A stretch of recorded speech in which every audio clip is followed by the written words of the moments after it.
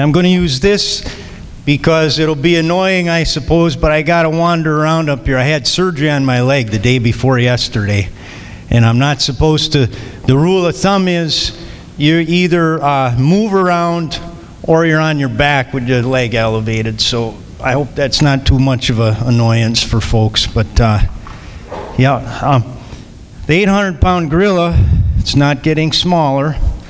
And of course, by the nature of, of 800 pound gorillas, I'm not going to say what it is just yet. You may have some guess. By the way, book titles really get murdered a lot, but that one wasn't shoveling fuel for the train tracks. Is shoveling fuel for a runaway train. That was my first book. Run, yeah, that's okay. and we'll see the relationship of the runaway train to the 800 pound gorilla soon enough as well.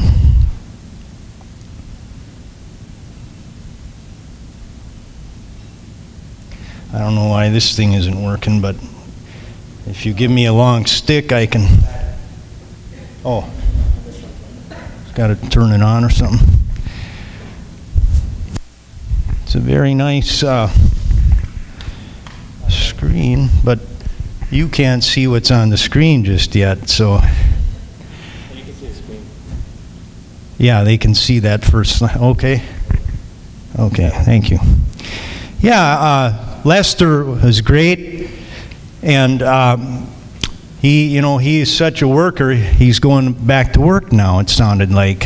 Uh, but that man is an encyclopedia of information on a lot of the stuff that I'm just going to allude to in the first few slides, especially, of course, this issue, which he focused on, and I guess is sort of a, at least a sub theme of your conference. Uh, everybody know what that is? If you fly over vast stretches of the central plains, you're going to see it. It's pivot irrigation. And uh, anybody know what that is? That's the same thing, and that's in Saudi Arabia.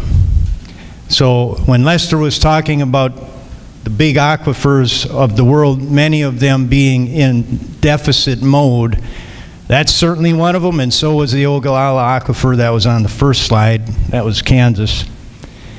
But, you know, it doesn't matter so much. If a place has a lot of water, or not, uh, it's being used. And it's being used for what? Well, largely, of course, as, as again, Lester made this point as well, it's primarily for agriculture. And we'll talk a little bit more about ag as we explore the 800 pounder. There it is on the ground. That's probably soybeans. And in fact, probably Roundup Ready soybeans. So not only do we have the water problem, but we have, you know, developing here one of the most unsustainable, fragile types of ecosystems imaginable. But, you know, this isn't all just about water. You know, water may be the lifeblood of the, I'm starting to hint toward what the 800 pounder might be. But, you know, it's not the only thing. Uh, you've got, that's, you've got the water issue, but you, you have logging, you have mining, you have domestic livestock production, which again is where a lot of that water lifeblood went to. And we're skipping a long list of the parts of the gorilla to go straight toward the trophic top, if you will, namely information sectors, uh, both in the hardware and software respects. And then, of course, you have the transportation that pieces the whole thing together, right?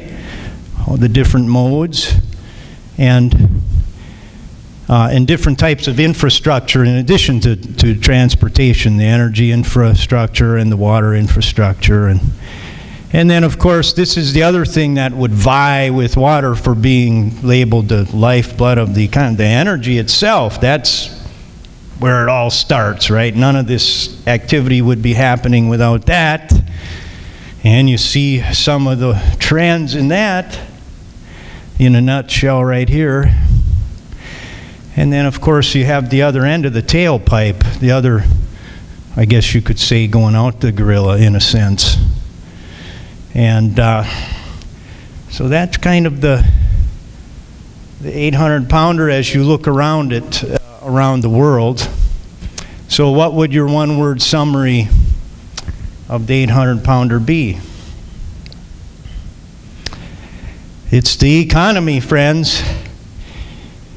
You know, it's, uh, it's the economy and it's a growing gorilla. It, people don't want to talk about the fact that it's the economy that is really uh, the source of, in, in my case, what it uh, appeared first of all to be the source of, in a problematic sense, was the cause of biodiversity decline in the United States. That wound up being a major part of my PhD research, which was a policy analysis of the Endangered Species Act. Uh, because otherwise, I would have been happy just staying a wildlife biologist and working in the field. But I wanted to try to get at uh, and make a bigger difference for biodiversity conservation in the United States. So that's why I did that, that uh, type of doctoral research. And part of it was looking at the causes of species endangerment in the United States. And those first 10 or 12 slides, you know, that summarizes it. It's the economy. The list of causes is like a who's who of the American economy. So it's the economy. Now, since we're talking about this and we're talking about that thing growing, we really have to start being careful with our definitions because if we don't we'll get off onto all types of unproductive tangents and arguments and, you know, time wasting conversations. So let's just, uh, in some cases, inform ourselves, in, in a lot of cases, remind ourselves economic growth is simply increasing production and consumption of goods and services in the aggregate. And so that means that it's expressed in terms of gross domestic product, or GDP. And that makes it easy to understand that it's a function of increasing population and or per capita production and consumption of goods and services. So that's economic growth. And that, that phrase in the aggregate, that's the key phrase. Key in the sense of the phrase that is overlooked at our peril in discussions about sustainability. So, hey, what's, oh, there's the 800 pounder. Finally appears for us. That's the economy. So let's bring that, and you know, it's the 800 pound gorilla. Uh, I, my day job is with a federal agency. Are there any other federal employees in this room by chance? Oh, there is. Oh. Shucks. Well, let's I'm going to keep my fingers crossed about you. it, you can't talk about this. Now, of course, I'm not here as a federal employee. That in fact, that's the reason CASSE by the chance, that's the center uh, by the way, is the Center for the Advancement of the Steady State Economy, CASSE. Center for the Advancement of the Steady State Economy. SteadyState.org if you want the, the website. And uh, the reason CASSE was founded by me in 2003 is I had a gag order. I was not allowed to talk about the conflict between economic growth and environmental protection as a federal employee. And if there were very other many feds here, I wouldn't even say that here, but I am off duty. You know, you do have a First Amendment right and all that. So um, here's the gorilla coming out of the corner. Now we'll watch it grow a little bit. Okay, so that's economic growth. It's the whole thing. It's in the aggregate. It's an integrated economy with all of those sectors that we looked at examples of in the first some slides. That is not economic growth. And this is extremely important in discussions about sustainability. So if you hear somebody tell you that, well, you know what, there's no conflict between growing the economy and protecting the environment. We can grow the solar sector while we decrease the fossil fuel sector, sorry folks, that's not economic growth. That's a, that would be called a sectoral readjustment. And a certain amount of that can happen, but not that amount, right? You have, you know, certain rules in the trophic structure, to borrow an ecological uh, concept that is every bit as applicable to Homo sapiens as to all of the rest of the economy of nature. You have certain thermodynamically derived rules in terms of the structural and proportional prospects of an economy. And so this is, uh, this is not economic growth, it's sectoral readjustment. That's economic growth it's in the aggregate. Now, in the, one of the problems that we have, and when I say we, I take it that if we had to try to put us all under one umbrella, what would it be? Environmental protection advocates? Would that be one of the uh, okay appropriate phrases? So we, I'll just call us environmental advocates. And one of the problems that we have is when we recognize economic growth as the problem, one of our initial reactions most likely is to say, well, this is a, this is a job for the economists to tackle then. Wrong. I, don't, and don't get me wrong, there are a lot of really good, progressive, helpful economists out there, but even they will tell you that the economics discipline at large, which we can call neoclassical economics, which very much dominates academia and government and government policy making and politics pertaining to macroeconomic policy has a growth theory that's extremely out of date and short sighted when it comes to the problems that we're trying to deal with by 2100. Because the growth theory, ever since Solow's 1956 model, which went through several major stages and you could say is now uh, uh, represented by the state-of-the-art Romer endogenous growth model, they all revolve around this, what we can call a landless production function. They all build from this production that says production is a function of capital and labor. What happened to the land? Remember, if you, if you know anything about the history of economic thought, classical economics and you know, Adam Smith and Karl Marx and John Stuart Mill and all those. It was always, uh, the talk was always about land, labor, and capital. Land, labor, and capital. The first one is gone. What happened to the land?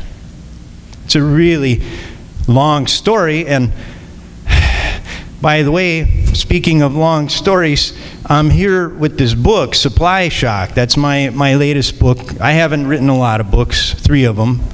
But that's the latest, and I spent on and off 14 years on the thing.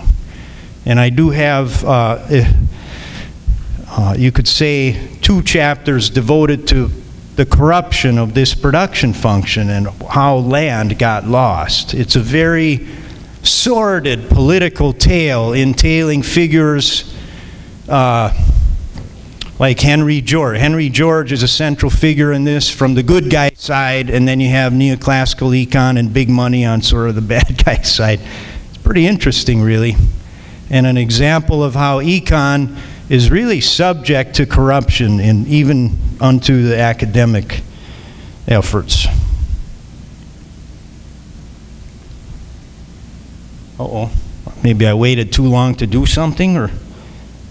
Oh, okay. So there's Solow, and uh, you know, notorious among we sustainability thinkers for his statement that the world can, in effect, get along without natural resources. So this gives you an idea why it was okay for him to leave land out of the production function, right? And basically, he's talking about technological progress, which in a 20 minute talk we don't have time for. It's chapter 6 in Supply Shock technological progress and less brown growth, it's called. because you don't get green growth with technological progress, and there's a very systematic explanation for that. You can get per capita what we might consider less brown growth, but remember, growth is all about the aggregate. So you're going to have environmental deterioration with increasing GDP, even with technological progress.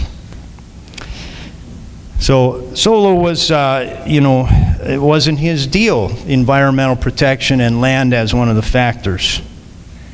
But unfortunately, he spawned a long lineage of really landless thinking.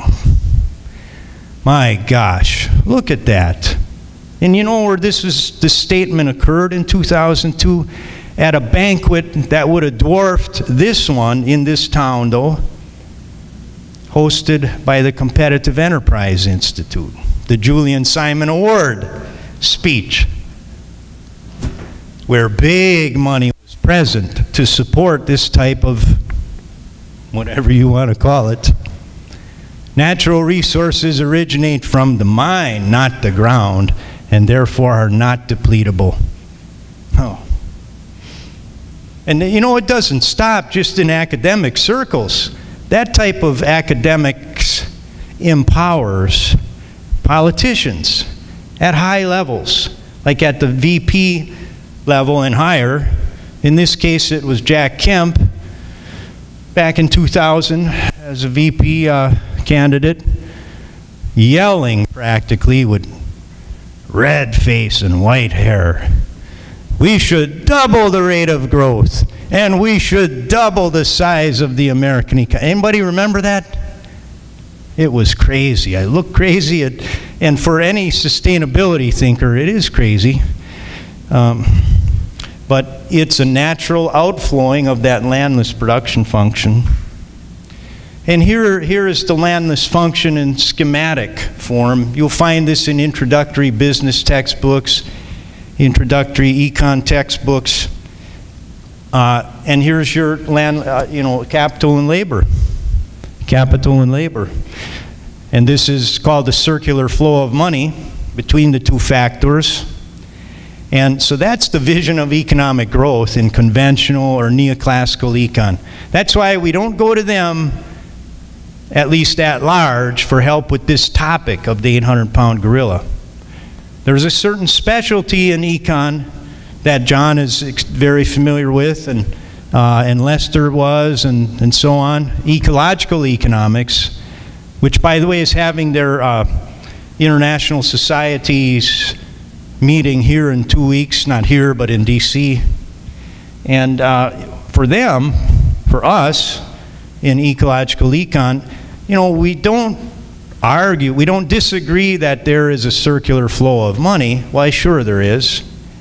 But we go back to reminding folks that it starts on the land. Five minutes, okay. So there's your circular flow of money. And we like to point out that yes, it occurs, but not in a vacuum, rather via the liquidation of stocks of natural capital, the water, the wood, water, soils, fisheries, minerals, petroleum products, all that.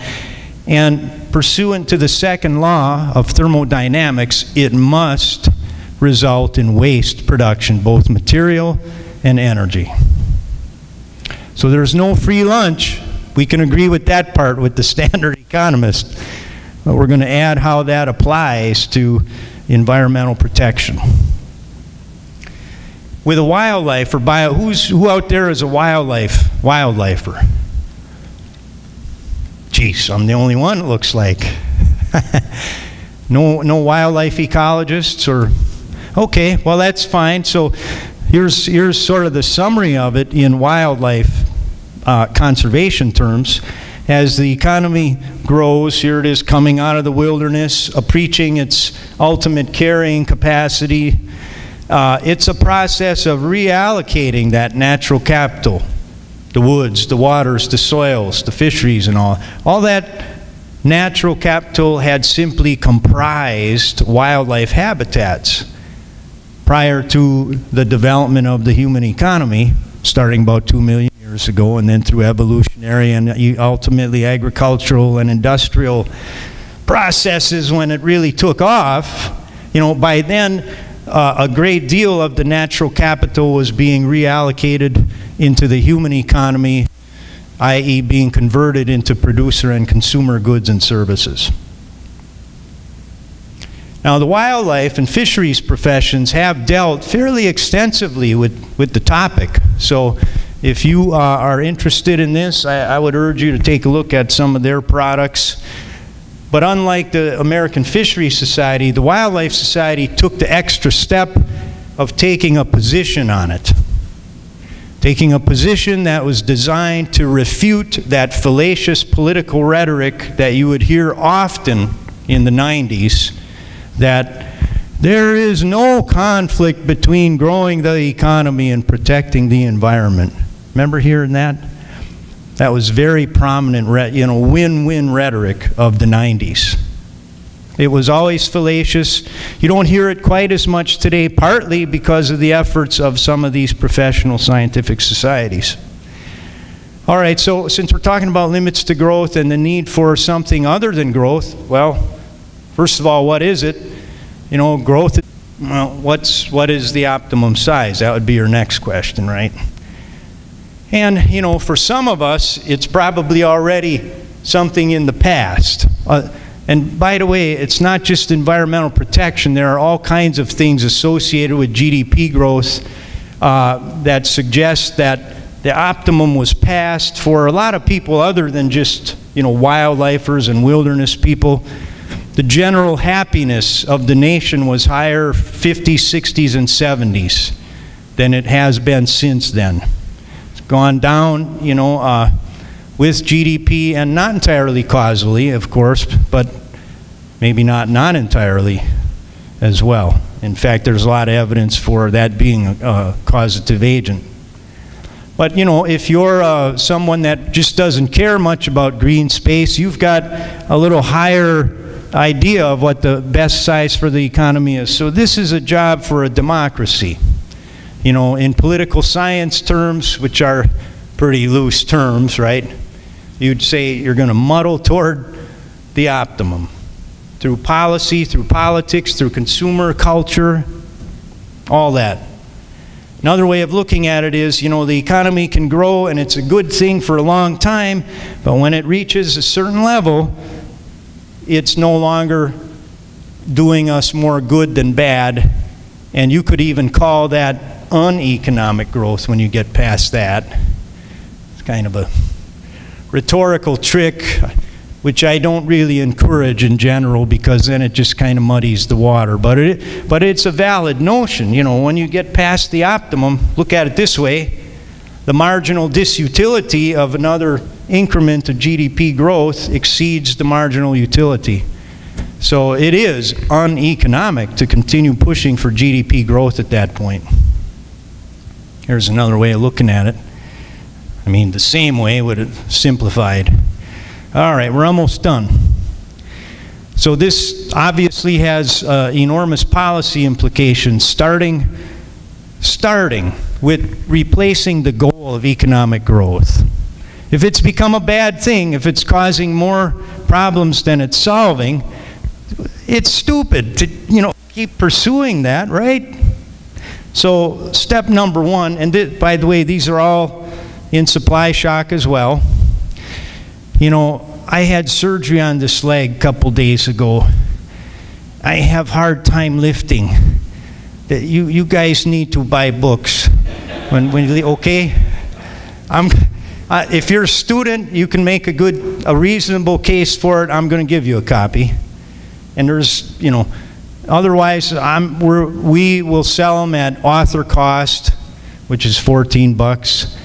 And it'll be the best 14 bucks you ever bought, ironically. But anyway, we talk in there about amending that Full Employment Act to a full and sustainable employment act, the Full SEAS Act, if you will. So that notion of rising tide lifting all boats, that's anachronistic. You, got, you only have so much water. You can only have so many boats. And so that's what that's about. And there's all these policies, but you know what? Before we even start talking about those, and I think this is the group for this, we got to talk about this. So Anybody got an idea? Anybody take a vote for A? Would that work? It looks kind of unpromising. How about B? Ah, that's too, I mean, obviously empirically demonstrated not to work. So that's the one. You got to put the horse before the cart, and the cart can't just start out with tonnage in it. You know, you, you got to have a gradualist approach to these policy reforms, and you got to have a big, strong, healthy political horse before you can start talking about loading up, much less pulling that cart. Okay. And finally, here's a basic vision. You know, you take the positions, that's, that empowers the NGOs, it gets out into the public, and it gets into policy making. Read up on it if you would, please, a little bit, especially if you are like some sort of environmental professional or. And here's a good place to start. This is why we came into existence. We help develop those positions. You know, we have 13,000 signatories to our position. You can sign it here, please. Lester Brown just became our latest signatory, but you know, we got Gus Speth and Herman Daly and, and Vandana Shiva and Jane Goodall and David Suzuki, you know, a long list of dignitaries, uh, even into the political and diplomatic sphere, have signed it lately. This is hot off the press pretty much, less than a month ago. Uh, the Vermont legislature, you could say, endorsed most of the CASSE position on economic growth. So, so it's a good place to start. Here's an example of the societies that have taken a position on it, and some others looking at it. Oh, I did want to say something about political danger, but I won't say anything except to point out that don't be afraid of it. In poli sci terms, you're in a diffused benefits, uh, I mean, concentrated benefits, diffused costs arena if you, as an environmental advocate, are advancing a position on economic. Nobody's going to come after you. The costs are too diffused. Okay? So, uh, the, and the politics of the steady state are, are the politics in political economy that are, should prevail by the year 2100. If not, it's like World War III and IV time. It's as simple as that. It's steady statesmanship or world wars. Thank you very much.